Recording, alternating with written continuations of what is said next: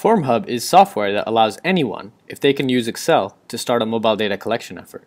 This means that teams without programmers can collect data on smartphones. FormHub works in three steps, design, collect, and analyze. First, you design your survey in Excel and upload to FormHub. FormHub then transforms your Excel files so they can be effortlessly distributed to Android devices or opened in any modern web browser. Next, field surveyors collect data. Finally, you can analyze the survey data through visualization tools as soon as the data is submitted from the field. So let's begin with a demo of the software. Once you sign up for an account, getting started with mobile data collection starts with Excel. To author a form, you can start with a previous example from the FormHub Forms gallery. Here, I will go ahead and download the tutorial form. The XLS Forms format is designed to be easy to use. College students have been trained in a matter of hours to use this format. Using Excel to write surveys, you can work on it offline, manipulate it as you wish, email to others, or use Google Docs or Dropbox for collaboration. The syntax for XLS forms is described in the FormHub syntax page. Once the form is designed, you can simply upload the XLS file to your FormHub account.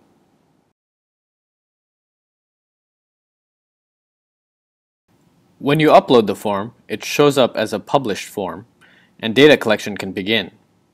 If Android phones are being used, ODK Collect will need to be configured with a few simple steps in order to access your FormHub account. If you are using a laptop or other internet-enabled device, which is what I will use in this demo, you can just click a button to access an offline-enabled web-based survey.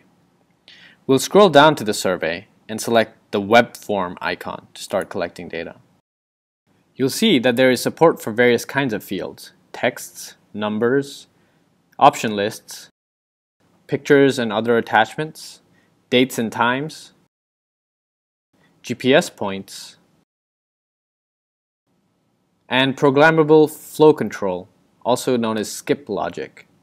Option lists can either be single select or multiple select, and freeform inputs can be constrained to only accept valid data. The phone survey looks different, but the capabilities are exactly the same. Now on to analysis and visualization.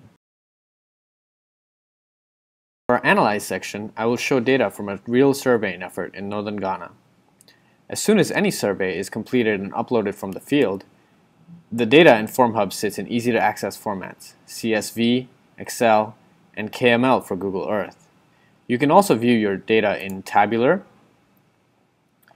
or with a double click, singular formats. Notice the edit and delete buttons, which can be invaluable for quality control. You can also view photos that were collected during the data collection exercise, and finally, maps of the data you have collected. Let's go down to a water WaterPoint dataset and I'll show you what our map looks like. Here, we see all the surveys that were collected during the surveying effort. Clicking on a point gives you the survey that was filled out at that location. On the FormHub map, you can even visualize the responses to questions in your survey using the View By menu. For this water survey, let's see what the responses to the question, is this water source able to provide water right now, were, and how they are distributed across space. No clear patterns here, but we can click through and see each one of our non-functional water points to follow up if we want.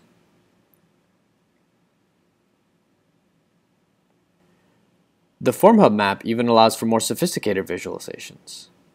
If we include the hex bin layer in FormHub, we can see where there is a concentration of water points that we have surveyed. And finally, if we filter out our data by certain response, for example, just water points which were not functional at the time of the survey, this visualization will highlight areas where a high proportion of the water points were not functional.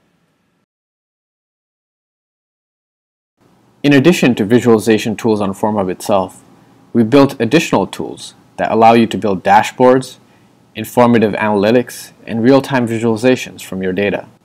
One tool is a library called formhub.r, which allows FormHub data to be easily imported into data analysis software like R. We are also working on a software package called Bamboo. Bamboo allows you to create indicators from the data you collect. These indicators will update in real time as new data comes in and can be fed into dashboards and visualizations that automatically stay up to date.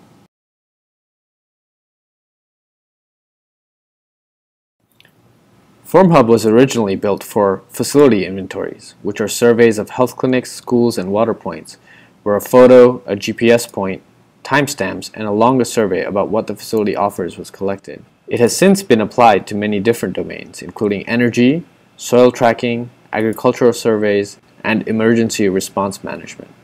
It handles long surveys very well and helps increase data quality in complex surveys by supporting both constraints during collection and editing and review capabilities right after submission. FormHub currently does not support interactions over SMS. It also doesn't have the notion of updates over time, but the latter is something we will be addressing in the next year. FormHub is completely open source, free to use, and free for others to host on their own. Our code is on GitHub, and we have an active developers mailing list. We welcome code contributions, bug reports, and translations from the community. Support for FormHub users is provided by a public Google group, which both FormHub users and developers respond to. We also have a dedicated support email address that our developer team mans with fairly quick response times. To use FormHub, all you need is access to the internet and Microsoft Excel. Your surveyors will need a smartphone. FormHub has been built specifically to work with ODK Collect, an app for Android phones and tablets. However, any device with a modern web browser can be used to collect data with FormHub. Oh, and one more thing. FormHub surveys can be written in any language. All you have to do is add an additional column to your Excel file. Here's a grid line mapping survey in Bahasa Indonesia.